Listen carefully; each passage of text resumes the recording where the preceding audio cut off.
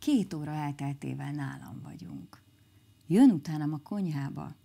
Hát az a pulton lévő vitaminos üvegre mutat. Igen, bólintok. Visszateszem a seprűt és a felmosófát a szekrénybe. Az enyém. Amióta megjöttünk, Hilmi nézelődik a lakásban, megszemléli a bútorokat, a növényeket, kinéz az ablakon, vizslatja a képeket, és lelkesen találgatja, hogy melyik lehet az én holmim, és melyik a lakás tulajdonosaié. Lenyűgözi a CD gyűjtemény, végigfutatja kezét a könyvek gerincén, végig simít a kanapé támláján. Aztán észrevesz egy összehajtott újságot a videomagnó tetején rajta egy szemüveggel. Hát ez? kérdezi lelkesen, és az orrára vigyezti a szemüveget. A tiéd? Kérdőn pillant rám, pislog orrán a keskeny női kerettel. Bazi. Csak olvasáshoz használom, kuncogok. Hilmin látni a szemüvegemet egyszerre vicces és furcsa, mintha a saját vonásaimat látnám viszont benne. Megnézi az újságot is. Tegnap éjjel ENSZ megfigyelők rikkancs módjára hangosan olvassa a szalag címet. Érkeztek Irakba. Anya és apa ünnepi hangulatban csinosan öltözve villantják rám boldog, büszke mosolyukat a nappaliból beszűrődő tompa fényben. A fénykép Iris és Mica esküvőjén készült. Összerezzenek, amikor meghallom, hogy Hilmi közeledik. Ez a fürdőszoba? Kérdés és benyit az előszobából nyíló baloldali helységbe. Igen, látom, ez az, mondja, és becsukja maga mögött az ajtót. Az íróasztalon a faxgép mellett az üzenetrögzítő piros szeme kacsingat. Egy nem fogadott hívás. Szia, Liati! Következő üzenetet a nővérem Iris hagyja, fáradtság érződik a hangján. Mi újság? Már próbáltalak elérni, folytatja csalódottan, s hallom, hogy közben csatornát vált a tévén. Hív vissza, de csak a korán érsz haza, mert teljesen ki vagyok ütve, ásít egy nagyot. Egész nap hajfában voltunk a srácokkal a Természettudományi Múzeumban, látnod kellett volna Micát és apát. Annak ellenére, hogy felvételről szól a hangja, érződik, hogy mosolyog. Olyanok voltak, mint két kölyök. Gondolatban, panaszosan, nehéz szívvel kérdem meg a nővéremtől, mi bajom lehet. Hiszen Hilmi olyan kedves és jó hozzám, így felel, Mit törődsz mások véleményével, mire én nem is tudom. Valahogy megijeszt ez az egész helyzet, erre ő mi lehet ebben ijesztő? Érezd jól magad, együtt vagytok egyszer-kétszer, és ennyi. Semmi több. Válaszul, mint egy mindkettőnk megnyugtatására ennyit mondok. Tiszta sor. Mindössze egyetlen hétvégéről van szó. A nővérem egyetértően bólogat. Persze. Nem azt tervezett, hogy holnap hozzám ész, vagy mit tudom én. Helyeslek, igazad van, végül elvicceli az egészet. Szeretkezne, háborúz. Lehet, hogy ezt itthon nekünk is érdemes lenne megfontolnunk.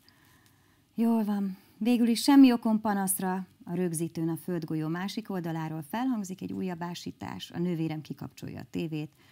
Jó ét, Hugi, holnap úgy is beszélünk. A hálószobában rumli van.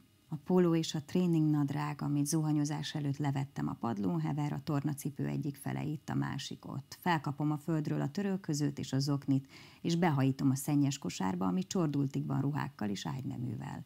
Lenyomom a tetejét, ráülök és Hilmire nézek. Ez is a tiéd? kérdi. Az éjjeli szekrényen levő könyvek közül épp azt a vaskos, szerény borítójú példányt kellett kiválasztania. Az a Biblia, mondom. Megrándul az arca. A Biblia? Mintha meglepődne, amikor megtudja, mit tart a kezében. Tényleg? Felemeli a könyvet, latolgatja a súlyát, megnézi, milyen vastag, forgatja, nézegeti. Berelapoz a Bibliába, és épp olyan furcsán érzem magam, mint amikor a nappaliban felpróbálta a szemüvegem. Valahol a közepe táján nyitja ki, felállok, és kíváncsian odalépek hozzá. Sámuel első könyve 31. fejezet. Figyelem, amint Sámuel első könyvétől a másodikhoz lapoz. Önkéntelenül elmosolyodom, mert miközben komoly ábrázattal forgatja a lehelet vékony lapokat, egy pillanatra úgy tűnik, mintha imádkozna. Aztán a Zsoltárok könyvéhez ér. Furcsálom, hogy megnyalja az ujját, mielőtt tovább menne. A királyok második könyvétől Jeremiáshoz, Ezékieltől a példabeszédek könyvéhez, az énekek énekétől, Rút könyvéhez lapoz. Véletlenszerűen bukkannak fel a szemem előtt a versek, épp csak feltűnnek, és már tova is illannak. Nincs időm arra, hogy alaposan elolvassam bármelyiket is, de elég csak egy pillantást vetni a sorokra, és már is érzem a szívemben a héber nyelv lüktető visszhangját. Az iskolában tanítják ezt? kérdezi. Második osztálytól kezdve. Visszaülök a szennyes tartó tetejére szemben Hilmivel. Végig a középiskolában. Kérdőn pillant rám, és megpaskolja maga mellett az ágytakarót. Gyere ide! Vállat vonok, kényelmes itt. Gondolatban megint hallom a nővérem hangját. Most mit szórakozol vele? Az egyik pillanatban képtelen vagy elengedni, a másikban hűvösen és távolságtartóan viselkedsz, teljesen bezárkózol. Szavai még a fülemben csengenek, amikor megjegyzem. Gondolom, ti a korán tanulmányozzátok a suliban. Igen, hit tanórákon elhúzza száját és a homlokát ráncolja, de már mondtam neked. Még a metró mesélte, hogy az elmúlt néhány év során az édesanyja egyre jobban belefeledkezett a vallásba, aminek a család egyáltalán nem örül. 1996-ban kezdődött minden, miután Hilmi édesapja 69 évesen szívrohamban elhunyt. Apám meggyőződéses ateista volt, megingathatatlan. Amikor a szomszédok bőjtöltek és imádkoztak, apám felbontott egy jófajta méregdrága viszkit. A Koránban ez áll. Nincs más Isten, csak Allah. Apám viszont ez mondogatta, nincs Isten és kész. Egyszerű ember volt, nem tudósféle, nem egy intellektuál. Amikor Hebronban éltünk, volt egy kis élelmiszerboltja, olajat, fűszereket, ilyesmiket árult. Egyszerű ember volt, de igazi művészlélek. Szeretett fafigurákat faragni, mindenféle kis szobrot készített, gyerekkorunkban papírsárkányt csinált nekünk. Amihez nyúlt, aranyá vált. A háztetőn galambokat tartott, minden reggel felment megetetni őket. Rozsdás konzervdobozokban muskátlit és fehér ürömöt nevelt, különleges ember volt. És ezt nem azért mondom, mert az apámról van szó. Szerette a feleségét. Szeretett enni, inni, szeretett nevetni. Csodálta anyámat. Szomorúság bujkált a hangjában, amikor az apjáról beszélt, és többször is összepréselte az ajkát. Észrevettem, hogy valahányszor elragadják az érzelmei, ezt teszi. Ezért is érint bennünket rosszul, hogy az anyám ezt az utat választotta. Gondolatban megint hallom a nővérem hangját, ezúttal a szomszéd szobából. Mi a helyzet, Liati? Hol szedted össze ezt a vegán arab fickót? Nyilván az a típus, akit megcsapott a nyugati világ szelete? Mond, nem lehet, hogy véletlenül mégiscsak askenázi zsidó? Tartottam tőle, hogy a nővérem kacagása bármelyik pillanatban rám is átragadhat. Ajándékba kaptad? Mit? A Bibliára mutat. Az első oldalon van nyitva, s a labba a sarkában kék tintával egy rég elfeledett bejegyzés. Sikeres katonai szolgálatot az izraeli védelmi erők kötelékében. 80-as bázis, parancsnokság 1991. november.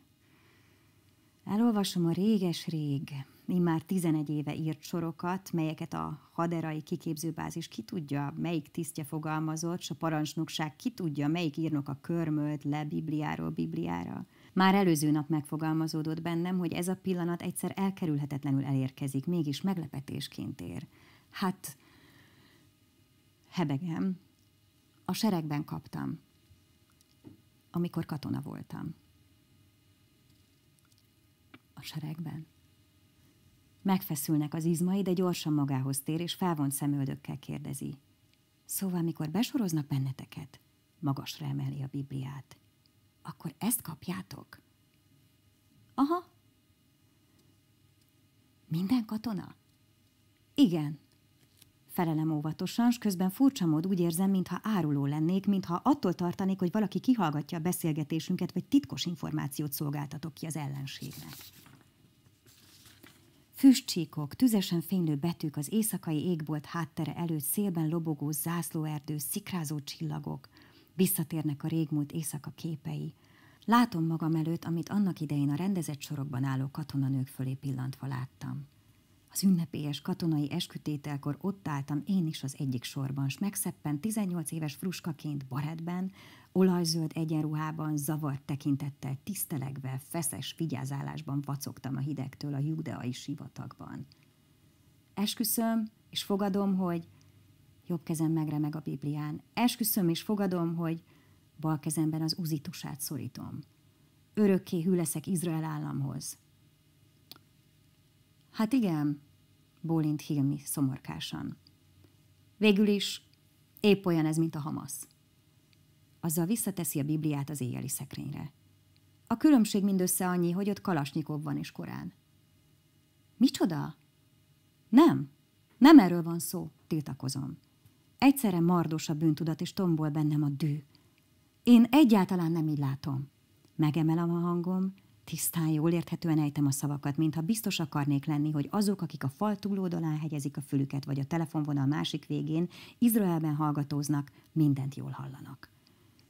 Egyáltalán nem ugyanaz a helyzet. Tényleg? És mégis mi a különbség? Hilmit is kezdik elragadni az indulatok. Talán nem ugyanaz a fasiszta szellemiség, fegyverek, katonák és szent könyvek. Lehet, hogy a kulisszák hasonlók, bólintok keserűen, és az arcom lángol a dütől. De mégis hogyan vonhatsz párhuzamot az IDF és a Hamas között? Kétkedőn vonja fel a szemöldökét. Miért? Szerinted nincs hasonlóság? Egyáltalán nincs. Ahogy például Japánnak, Iránnak vagy Németországnak van hadserege, kötöm az ebet a karóhoz, nekünk is van, és nem vagyok hajlandó emiatt kényelmetlenül érezni magam, és nem fogok ezért bocsánatot kérni. Nem mondtam, hogy kér bocsánatot. Nem is fogok. Eszem ágában sincs bocsánatot kérni azért, mert van egy államunk, hál' Istennek, és azért, mert van egy erős hadseregünk, amely képes azt megvédeni. Az erős hadseregetek nem tesz más, mint elfoglal egy olyan területet, ahol a civil lakosság... Tudod mit? Nem fogunk bocsánatot kérni amiatt sem, hogy ebben a konfliktusban történetesen mi vagyunk az erősebbik fél. Nem. Ugyanis ha fordulna a kocka, Isten ne adja, vagy ha 48-ban ti nyertétek volna meg a háborút, mindeközben az igazság bajnokaként elragad a hív, közben elfog az undor is, és igyekszem legyűrni a bennem felhorkant gyalázkodást egyszeriben értelmetlennek, teljességgel hiába valónak tűnik az érvelésem, olyan, mint a rádiós beszélgeté műsorok végeláthatatlan fárasztó locsogása. Hilmi panaszosan lemondon sóhajt. Tényleg erről akarunk most vitatkozni? Te tehetsz róla, védekezem, csak úgy szikrázik a szemem, te kezdted. Én? Bosszusan fúj egyet, nézd csak magadra, hogyan fajultak el idáig a dolgok? Mi a francot csinálunk? Ki a fenét érdekel ez az egész? Kit izgat? Hagyjuk.